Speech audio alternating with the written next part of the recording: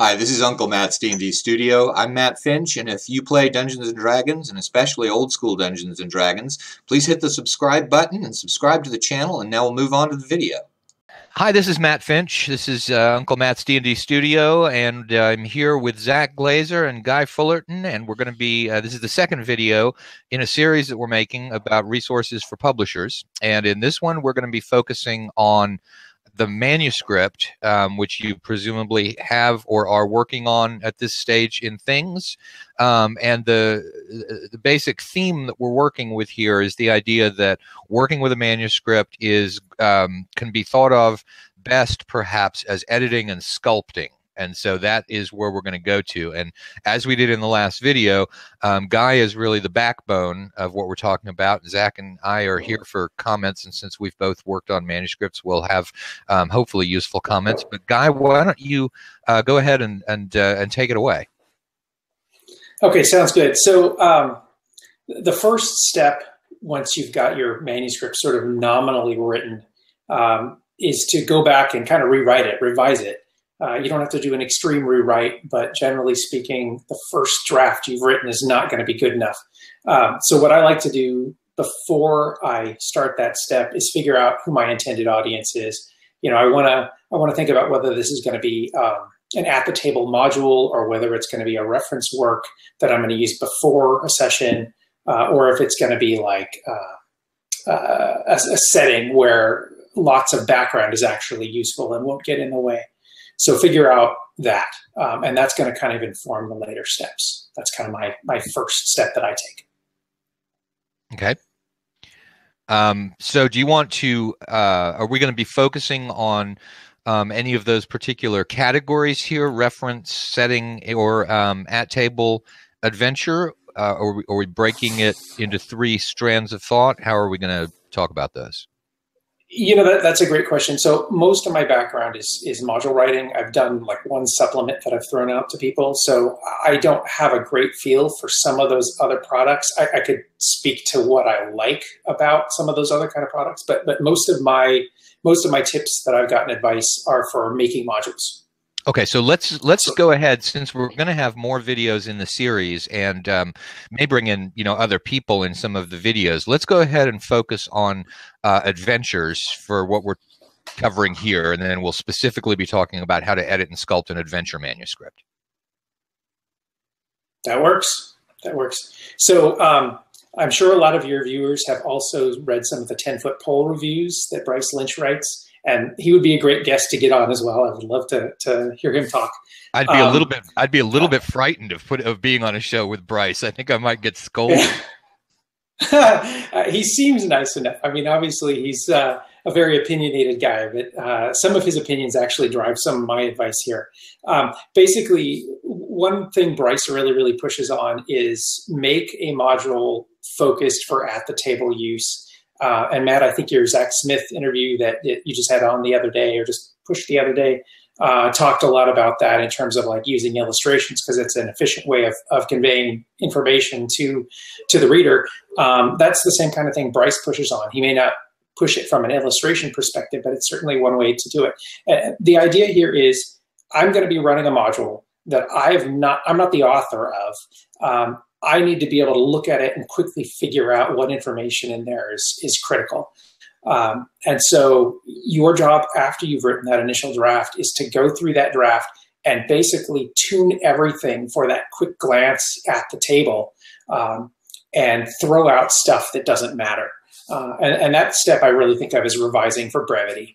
Um, it doesn't mean you have to throw out everything. It just means you should scrutinize the stuff that's going to be those things where you're quickly glancing at the page and you need to get that information fast. So um, to kind of dive down in that a little bit. Um, Actually, let me one let thing me that's kind of check.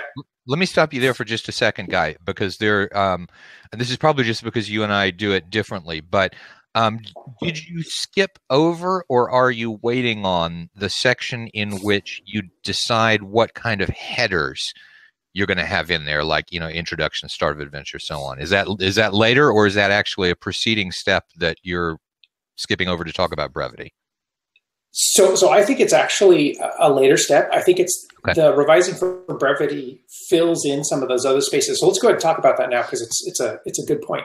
So when I do my first draft of a module, um, and I've been doing this for my home campaign too. I've been trying to write my home campaign write up sort of the same way I produce modules so that I can get more practice on the module production and, and make my home campaign stuff more efficient. What I find is that my first uh, uh, draft of the room write ups has a bunch of stuff that really doesn't need to be in the room write up, but should get pulled out to the introduction or maybe getting pulled out into a sidebar. So um, I think I think it's all part of that same process. You know, maybe you do write an introduction, but as you go through and you do your revisions, you realize that oh, I need to add something, um, take something out of a room description and put it in the introduction. So I think it's all the same ball of wax. Yeah, I think the way that the way that I tend to do this is that I will write the introduction based on what I think the adventure is going to be. In fact, it's often one of the very early steps for me um, is writing the introduction, and then by the time I'm done and rewrite the introduction, it is a completely different adventure being described there because it's evolved during the process. But for me, the introduction helps me to keep focused on what all is going to be in there, and then it changes. Yeah, that, that's actually a really good point. I, I, think I do something similar but not identical. I, I usually have. Uh, like a goal for the adventure and i don't mean a play goal but but like this is this is the kind of environment i want it to be or whatever and i will write that down and that, that sounds kind of similar to yours uh, and i can use that to inform my later design but like you said sometimes that initial goal or initial introduction is not how it ends up yeah well i find when i actually when i was um, doing two boxes i did that i used the early sections as, as my outline and they would evolve to become much more as I'd go and write to some of the events or some of the NPCs, I would um, kind of uh, detail them out a little bit and like tighten them up. And so I would constantly refer back to it myself as it was a tool. And then at some point, I would I would completely rewrite it based on the new notes. And so it's a lot like Matt's, I guess, in the fact that I having two open files that would have information, I would never keep them both together. I'm just not that efficient. So as using my document beginning section as my uh, organizational section as well. So. Uh, yeah, I think that's one of the things that you um, we're here we're you know what we've got is we're assuming that we have a finished manuscript here of some kind and it may be um, uh, you know depending on how um, polished you are as a writer and obviously we're talking to people who are all the way from you know super polished freelancer all the way to somebody who's putting pen to paper really for the first time ever to write um, something like this that they're going to put out there. Um, there are four um, sort of common introductory parts that are used to direct a, a cold reader um, into the adventure. And, and Guy made a really important point early on about the fact that this person has never read what you're doing. They don't have any of the background information that you sort of are taking for granted, whether consciously or subconsciously when you're writing it, and how to work people into it. And it's de- generally and uh, in almost every adventure that I've written, I ended up changing these template introductory blocks, but a lot of them start out with an introduction, and sometimes people use the introduction to talk about, you know, here are the conventions where I play tested it, blah blah blah. Um, most uh, that would often, I think, fit more into a forward, and then the introduction is telling you, um, sort of, here's what this adventure is going to be about, and then when you get from there, then you start giving people um, functional information about it. And that's where um, you've usually got three different areas um, to organize that into. One of them is the backstory or the history. Um, and the reason for that um, is, again, it's a, an easy way to work somebody into it and begin to develop you know the villains that might be in there or the threats that might be in there um, and then there is also in, in varying orders there's usually um, uh, if there is some overriding environment risk that's in there or something that shows up many times, people will often have a little section about how that works.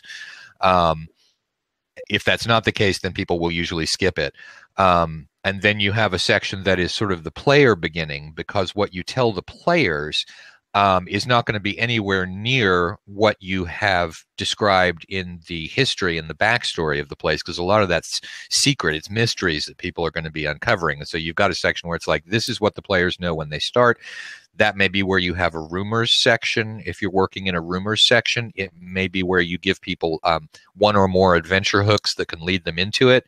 Um, and then you begin with some sort of geographical um, sort of root set of room description things and then often you end you know with some sort of concluding material but if you think about what your sort of chapters quote unquote are going to look like that can also let you early on bracket the information at least even if they're placeholders. It's like when guy is talking about working through discovering that his room descriptions that's where he's beginning to write in new elements of backstory or something like that. Um, you've got a place you know in your little word file that you're typing away on um, you, you, have a place to put that now. And so you begin assembling you begin moving blocks of text around uh, to where they belong. And that's um, i think that's you know that is a major editing function. And then after that I tend to look at the brevity because I really don't know how long these things are going to be until I'm done with the writing process and I see, good Lord, my introduction is 44 pages long um, because that's where I, you know, maybe my backstory is a little too intricate or maybe some of the backstory needs to be moved into the room, back into the room descriptions so that it flows right. Um, so that, um, so Guy, why don't you talk about various possibilities for um, that overarching sort of outline of the adventure. And Can then I ask let's a move on question to first brevity. before you move to, to an outline? No, When- go ahead. Oh, when both of you guys are doing like your intros, do you think in advance of like presenting information in tables? Like you, you just mentioned rumors, and like when I would do that kind of stuff early on, knowing it's going to be a table, do you guys do that? Knowing do you have information you're pretty sure will not be in a standard like format, and you already have that like set aside or thinking of where to put it. For me, the answer is yes and no. Yeah, I, usually I, I have some idea what I want to have a table and not have a table, but um, that can end up changing. I, I think at layout time, there are sometimes situations where I have non-table information that I put into a table specifically for like layout and visual design purposes. I don't think I do the opposite much, but I think in a lot of cases there are places where I know I want a table, like rumors. Rumors are one of the common ones. Yeah. And so, you know, and this is one of the things about too making decisions about how your thing is going to work. I'm not sure that it makes sense to do. Ru- First of all, don't do rumors until the very last. Um, just you know, pro tip there. Um, the other thing is that you know, for example, I don't like using. Um, I, I, I do rumors in, in you know the the standard um, traditional old school way of doing rumors is that that you'll get some true and some false information um, depending on how you roll on a table. And I prefer a method that started coming out in later editions where really it's all true it's just more useful or less useful um, depending on like what you spent or you know how good you you know who did you talk to what kind of effort did you put into you know the gathering information phase of things. And so everything that i put, tend to put in is true because i think there's there's no real way of knowing what's false you know that you know is is more atmospheric and i think loses part of the whole thing about giving the players meaningful decisions. But um so often i i do tables specifically because it's like you know, were you at this category of information gathering, this category of information gathering, or super duper awesome information gathering where you're getting, you know, unusually useful little pieces? Okay, I was just curious because I can't. I have a harder time separating between the manuscript part and the presentation part because I've only done a few, and I was a one man machine. So it would occur to me early on what was it look like on a page, even before I learned InDesign, because I cared about that stuff a lot. But I was just curious if you wrote the tables, is all. Sorry to have interrupted. One Oh, of the no bene- need be sorry.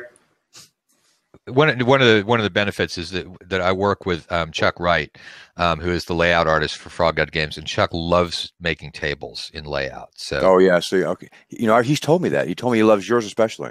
yeah, so- yeah, especially when you nest one table within another, so that one he says that's a challenge that he's up to. Yeah. So okay, excellent. Wow. Well, I don't want to be him. I do not like making tables. so I, I want to go back to one thing uh, you mentioned earlier, Matt, about the introduction, and, and actually the introduction and all those sort of early matter pieces. I, I agree strongly with the order you threw out there. I think a lot of products put things in the or make it harder to use. Um, like you said, that that starting the player stuff needs to be right before the geographic um, or first story element if it's a story based module. Uh, the only other thing I want to add is on the introduction. The introduction for is so the reader can figure out whether to ignore the module. To be honest, um, you know that's where you're going to say it's for this level range and it's this system, and you darn well better have you know X, Y, and Z elements. Um, and if you don't, put this module aside. That is really, really, really a good point about the introduction. Um, hugely important. That that's vital information. Um, so I, I shall I just sort of dive down into some of the the revision concepts now. Does that seem okay? Uh, yeah, I mean, um, I think I think we've established the fact that we've got the, you know, there, a lot of this involves looping back. This is not a linear yeah process in which you do page one, page two, page three. You do page one, page two, page three, and then you're like, oh my god, page one sucks, and you go back to page one, and yeah. then that that changes what's going to be enforced. So that's the first thing to understand is that we're talking about a looping process, um, even when perforce the only way we can describe it is linear. But okay, yeah. Uh, with that said, that's, that's a great point.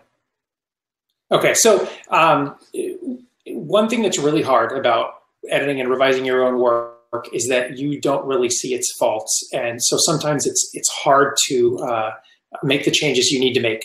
Um, one tip I offer for that, obviously, a lot of people will say set aside the manuscript for a while before you start the editing and revising, so you can sort of come to it fresh. That's a great piece of advice.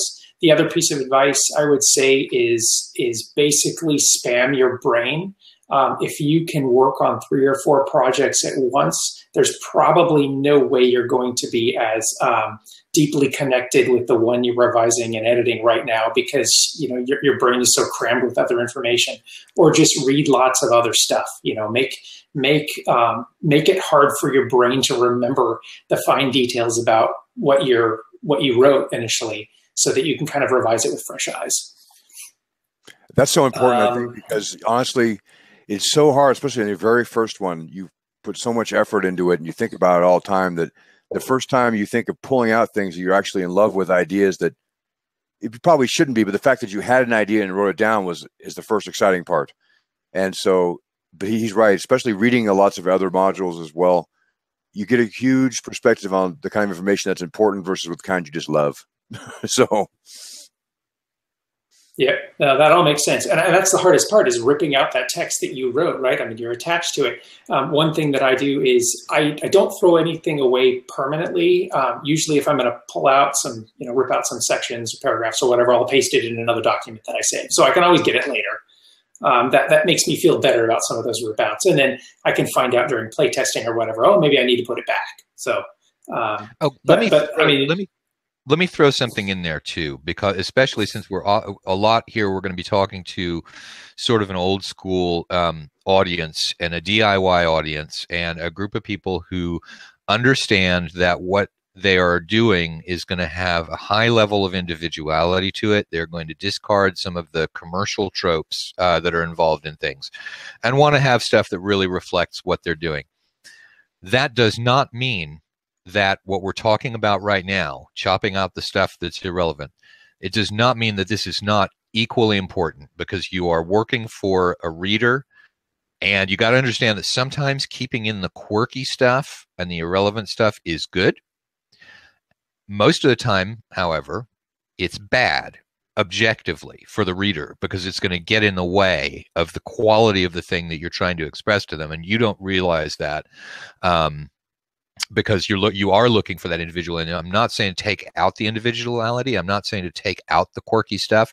It's just to realize that sometimes the individuality and the quirky stuff is still something you need to trim if you want a good resource for somebody else. And that's one of the difficult things to balance when you're trying to do something that is that has the non-commercial feel to it that has the diy feel to it that you're going to share to the world in general that still means some of the stuff needs to to go if you want to have a good resource that is still quirky and individual sorry i'm really jumping yeah. in this time around go ahead no no that's that's that's super great um, that that brings up sort of two uh, important points and and um, one is that all the the quirky stuff the stuff you ripped out um, a lot of that can be repurposed uh, section at the end which is design notes and that can be much more free form. Needs to be. Uh, it doesn't need to be focused for at the table use.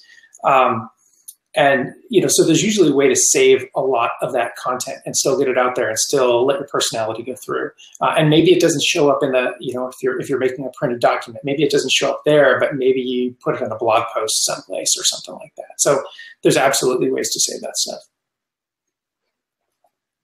Uh, let's see. Um, okay, so we talked about overloading your design memory.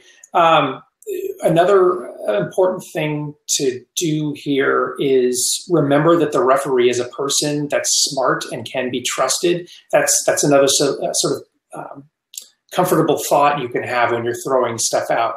Uh, there was a recent module where we had a big table of of uh, essentially spell effects and how it interacted with a particular environmental hazard, and we probably had 30 spell effects in there and it was just too long. I mean, it made that room span multiple pages, and that was not going to be something that flew. And I realized that, you know, if I just give the referee two examples or three examples, they're going to be able to interpolate the rest. So, um, you know, just make sure you trust the referee. You can allude to stuff without saying it explicitly. Um, so that's that's a handy technique, or at least, um, you know, comfortable pillow to land on as you're throwing out words. And that's a um, technique for that's a technique for brevity, um, which is you know we yeah. talked about the importance of that. Yeah, because it's uh, the, the only other it has to do with page usage as well as everything else. Yeah, so I mean, we could go into layout, but that'll have to be a future one, and that that uh, it's layout would be hard to convey over video, but um, uh, maybe in the future. Uh, let's see. So another thing I wanted to throw out there, I'm saying some rules with air quotes on. These rules are not hard and fast rules. They're, they're more or less just suggestions. There are many of times and places when you want to ignore these specific rules. So um, don't feel like you need to be a slave to them. That's that's another important thing. There are times when you want a section to be long and more flowery. So you know, don't make everything super super concise.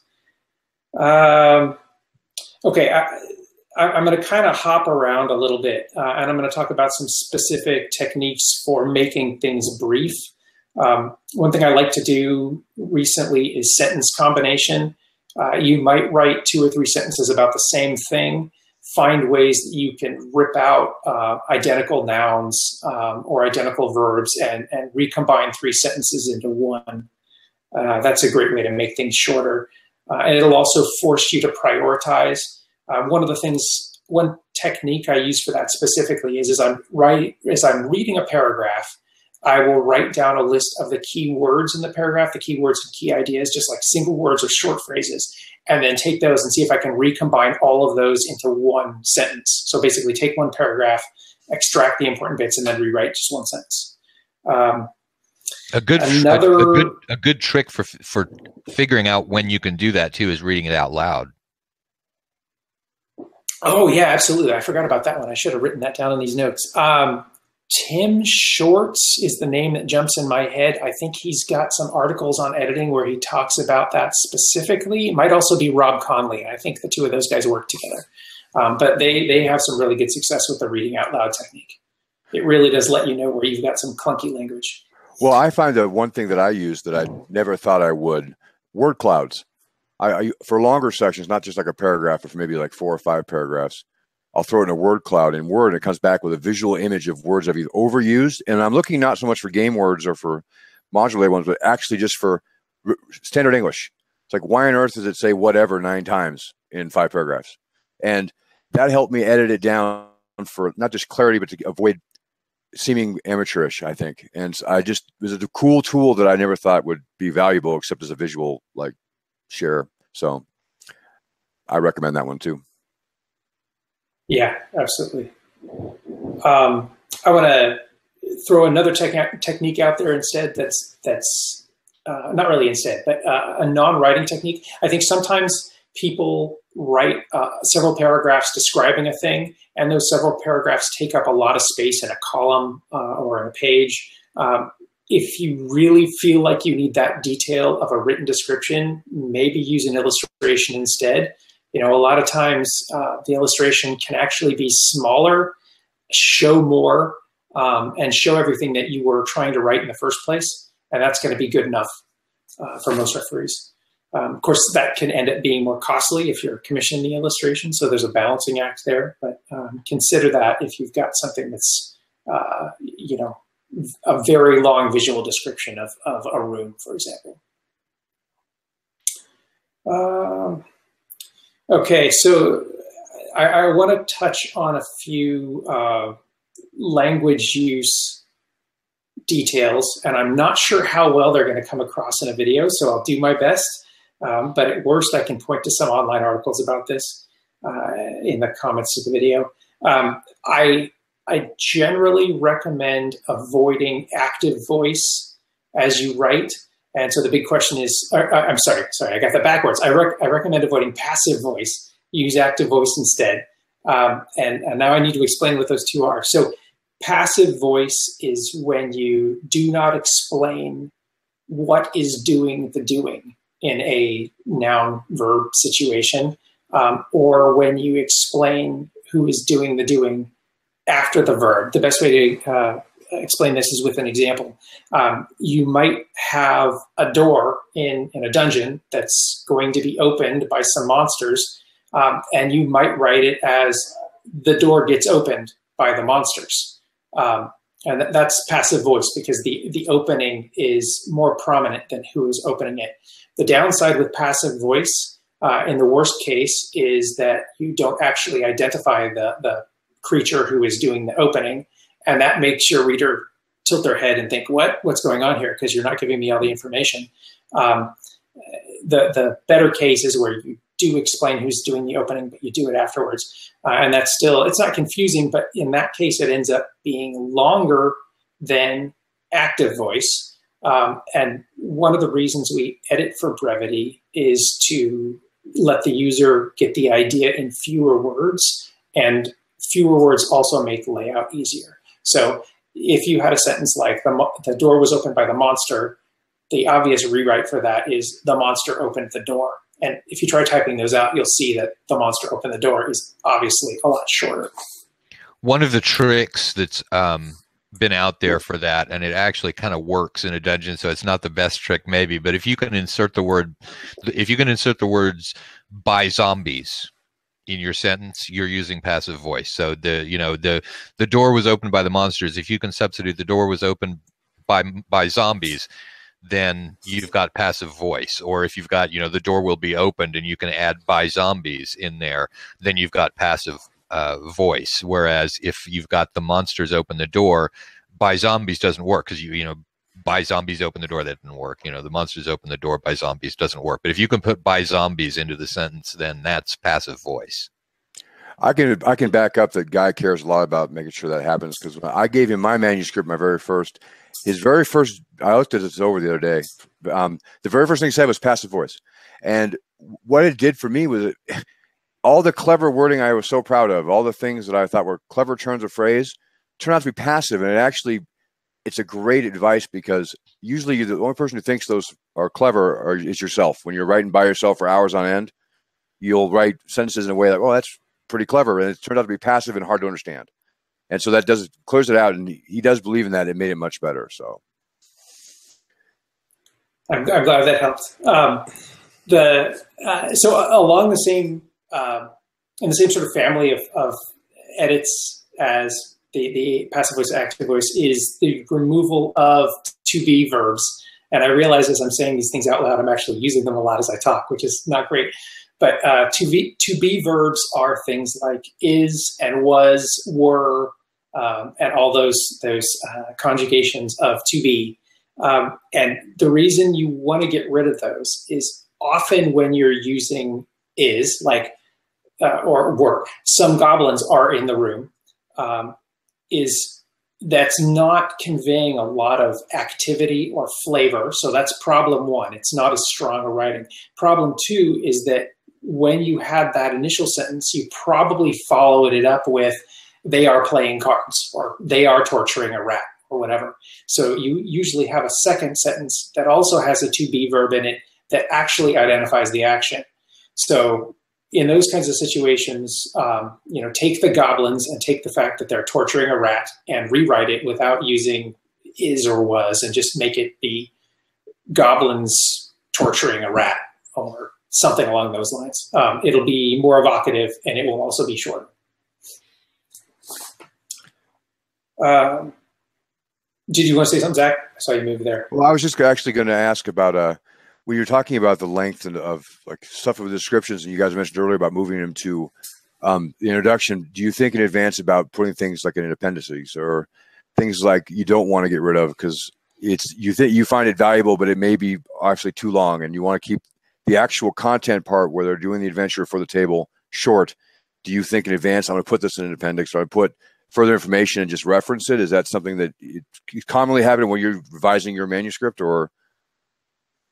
Um, for me, I've, I've been training myself to use sidebar sidebars more as I do my initial write, and I, I think sidebars are kind of the answer, maybe, to what you're saying. Um, you know, there are times you you're writing a room description, let's say, and and you've got two kinds of information in there. You have the basic description, and clearly that basic description needs to be in the key. But then maybe you have some backstory that will, uh, you know, inform how the referee thinks about the, the the room or the encounter. Or maybe there's like some design notes about, well, okay, this room is about this particular kind of challenge, and you need to know that fact in order to run the room right.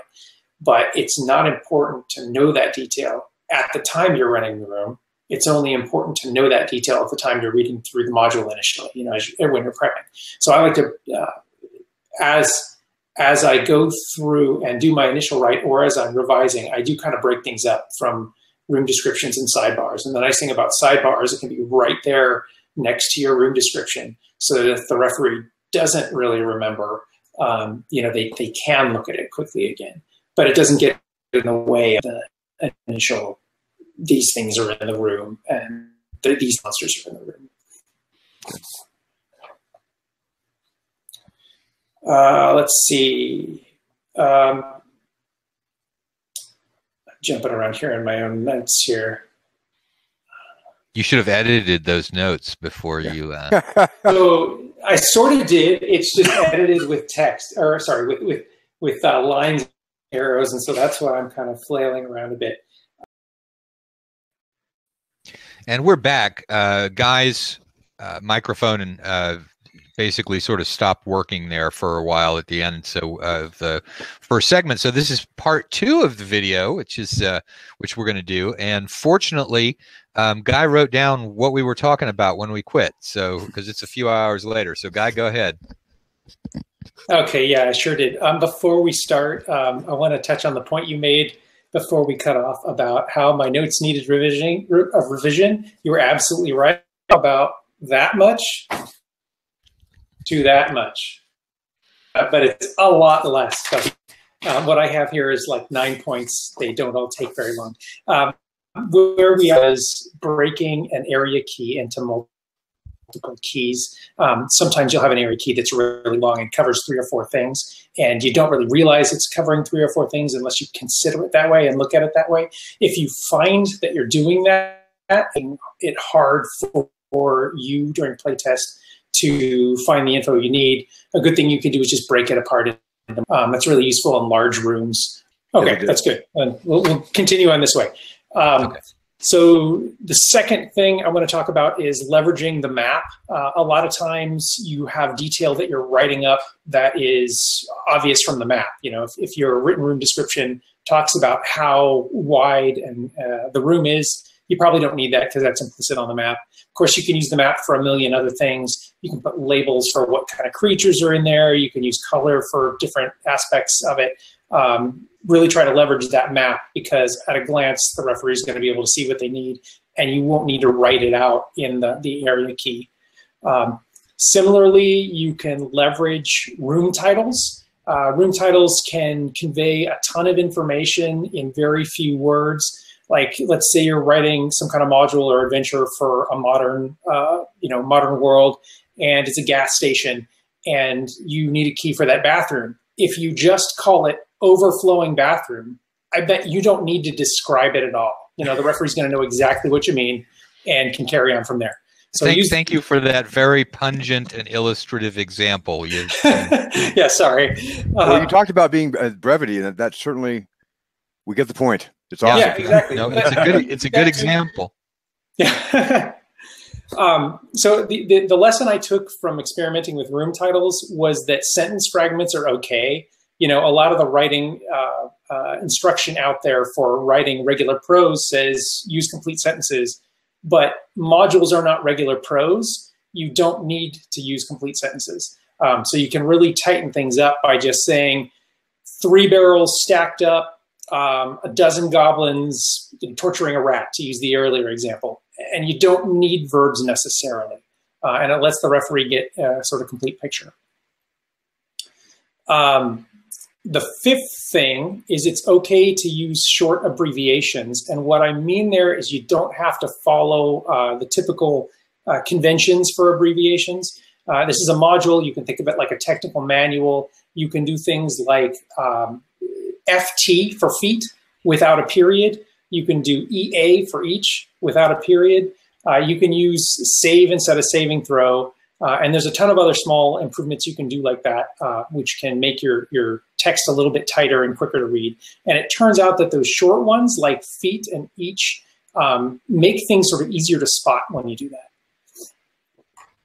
Uh, and then my last shotgun blast of information are things to look for in your manuscript to eliminate that is just going to save a bunch of space. Uh, the first is the word will.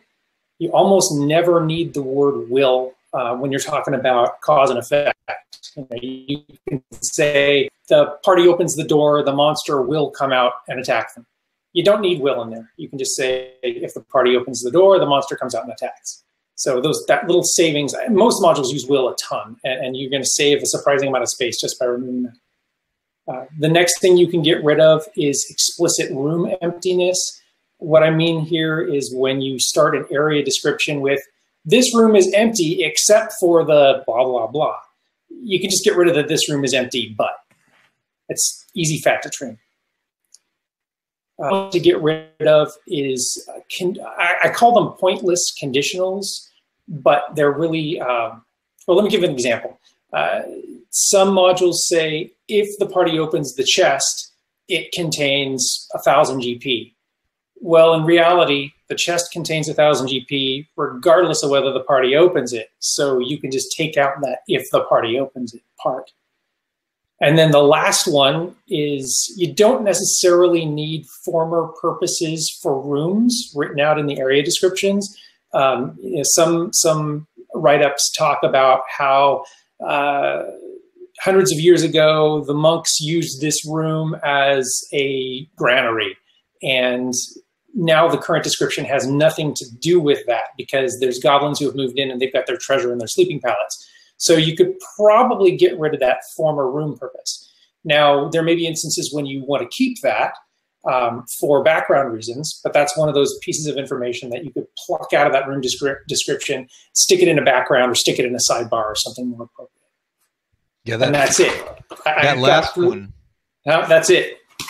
All right, that's, cool. That's all nine. Yeah, that that last one about um, not putting in the former use of the room um, I do tend to, I mean, certainly not always, but you know, I, I leave that in in some cases. Um, uh, as you know, and granted, there's this, I, I I don't aim for quite the level of brevity that you do in most of the writing, but um, I like to do that when, because for um, because as a as a as a it, it, to, to convey the feel of the place, sometimes I like to overlap the older use with the newer use, especially if one of the dramatic things that's going on in the module is a change from one state to the next. And so sometimes to sort of emphasize it used to be like this, now it's like this. It used to be like this, now it's like this. Sometimes that's a um, a key a key-ish feature in the thing. So yeah, I, uh, I, agree. And like I said before, a lot of these guidelines are, are just begging to be broken in certain cases. Um, there's great reasons to ignore them.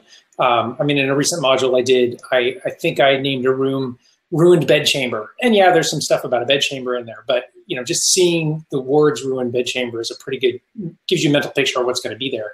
Um, so absolutely, occasionally leaving that in is good, especially like when you say you know there is a change going on. Um, yeah, I, I just I, you know I know they're all guidelines. I, I happen to raise my hand when there was one that I tend to violate more often than normal. Sorry, Zach, you were saying something. Well, I I, I agree with you that uh, if, as far as the old uses or the previous uses of the rooms, I think like Guy just said, the, the title helps a lot. But like the last box I did, Death and Taxes, it was very important as to the prior function of the of the dungeon. In the case, it was a, a building to understand what happened there in order to uh, complete parts of the tasks, etc. And I try to do that more though than just saying in the text because I think that it violates another one of his rules about telling, you know, a passive voice rather than telling exactly what it was. This was the tax collector's office. It was more of what is in there and how many hints does that give you so you can figure it out to the party. Because I use flavor text on important rooms and uh, box text, and I find that that's really useful as well. I kept and I try hard to pull out as much as I can to keep it from being, oh, look at what I've invented here. But uh, I think it is important sometimes to have those, and having them in the title does help. So. So yeah, definitely, definitely the overlay between you know past, uh, past use and um, current appearance. It's going to depend a lot on what you're doing. The premise, but, yeah, yeah, I agree.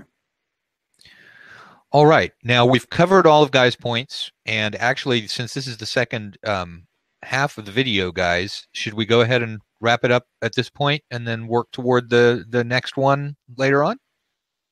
Uh, it's up to you completely. I'm I'm at your service as always. Guy, what do you think? Have we covered enough in this one, given that our topic was uh, editing and sculpting a manuscript? so I'm I'm my bandwidth is is dying here. I, am getting about every other word of you guys.